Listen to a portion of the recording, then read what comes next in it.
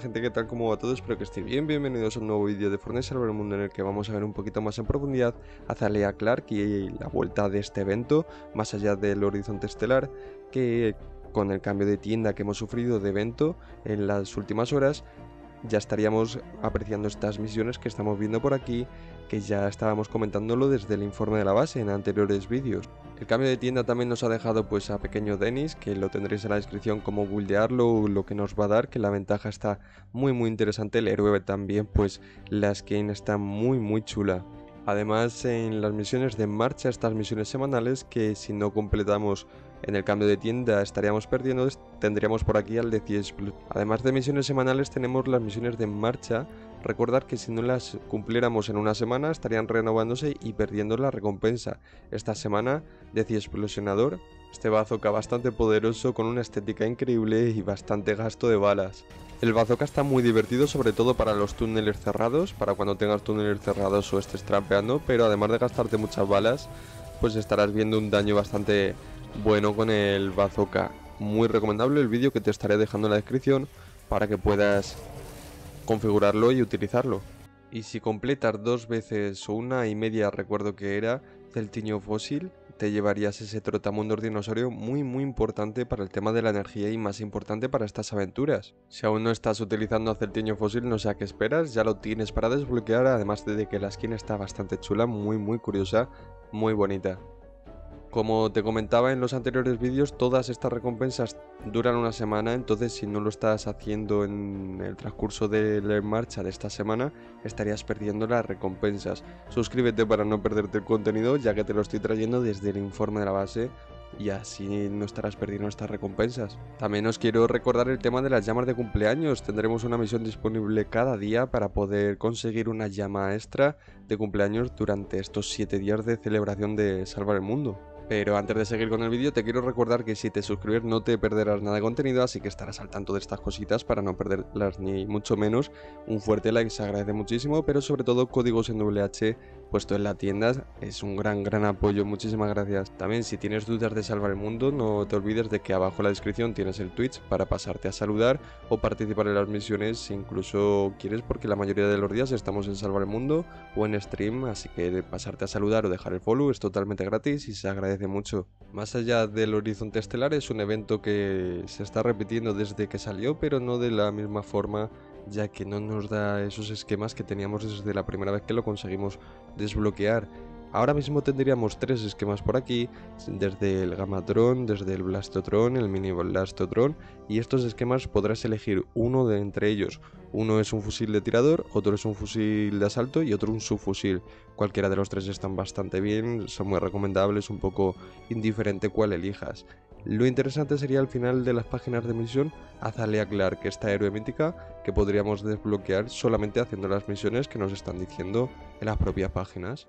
Al ser una héroe mítica nos estaría dando como la mayoría una ventaja de equipo. Esa ventaja de equipo que podemos obtener se llama Zas. Zas es un robotín que tenemos en la espalda que te cubre las espaldas como bien dice aquí, inflige 105 de daño energético básico a un enemigo aleatorio cada 10 segundos. Al nosotros estar ya en partida estaríamos viendo un androide, un robotín aquí al lado nuestro que cada X segundos estaría disparando un, disparo de rayo energético bastante entretenido y bastante divertida esta ventaja ya que nos estaría cubriendo las espaldas completamente.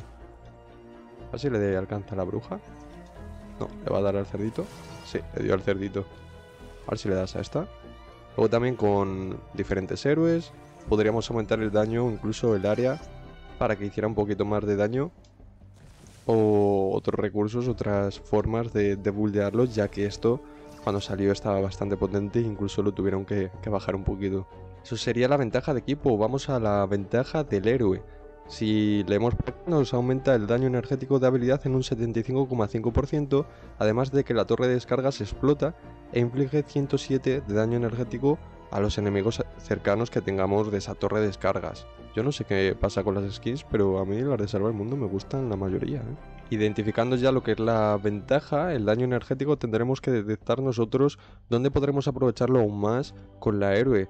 A día de hoy la vamos a utilizar una build simple, pero si habéis estado checando los streams en Twitch, la estuvimos utilizando con unas builds muy apretadas en aventuras, muy muy funcional la euro y me ha gustado mucho, pero a día de hoy la vamos a utilizar para una torre de descargas ya que explota y vamos a ver qué tal funciona con un Felices Fiestas, ya que Felices Fiestas va a hacer que esa torre de descargas se reduzca el cooldown Luego la torre de descargas le añadimos un poco de daño en área con el ciberclupe, esos cortocircuitos. Y luego pues desde el cooldown podemos añadirle un, mayor enfriamiento de, la sacudida sísmica, que también lo vamos a utilizar un poquito, de la torre de descargas, un poquito de daño de torres de descargas y por ejemplo farra ya si utilizamos el arco. Todo esto lo voy variando un poquito, no es la build que yo utilizo, ya os digo que, que, se va probando unos héroes u otros, pero si vamos a utilizar algo del héroe, siempre os recomiendo pues maxear, potenciar lo que vamos a utilizar con esos héroes o esas armas. En sí la héroe la estoy esperando, la estoy guardando para la segunda parte de la build de... En realidad la héroe y muchos más se están esperando, se estaban guardando para la segunda parte de builds de aventuras. Esas builds de aventuras que tenéis en el canal que bueno, ha habido bastante apoyo y estaréis viendo la segunda parte próximamente. Entonces dentro de la misión había recorrido todo esto y no había visto un zombie, digo, estará bugueada incluso. Esto que no, no me aparezca ninguno. Tendremos que tener cuidado porque con aflicción 250 los zombies pueden, pueden fastidiarnos muchísimo. Solamente quiero probar la torre de descargas porque el tema de la sacudida sísmica nosotros lo podríamos bufear muchísimo más y aún así está bastante, bastante bien esa habilidad. Pero solamente quiero que veáis cómo explotaría la torre de descargas y el daño que podría infligir sin... Mirad, ¿nos matan? Sí, nos matan con un disparo. El tema de la torre de descargas la deberíamos de potenciar un poquito más, pero siempre dependiendo del tema de la vida, que os digo, para las builds si vamos acompañados, si vamos en solo, poder saber un poquito lo que, lo que hacemos. Vamos a probar otra vez el tema de la sacudida sísmica, aunque no lo tengamos potenciado, que como veis pues sí que hace bastante daño, y bufeado pues se notaría más. Y el tema de la torre de descargas creo que lo podríamos tener un poquito mejor, ya que como ves, pues algo de daño hace, pero se puede quedar corta.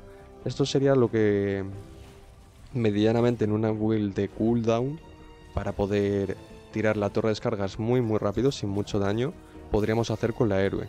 El tema de los de los protectores que, van con los zombies te recomiendo mucho este tipo de habilidades pues van a ayudarte a matarlos más rápido que cualquier otra cosa.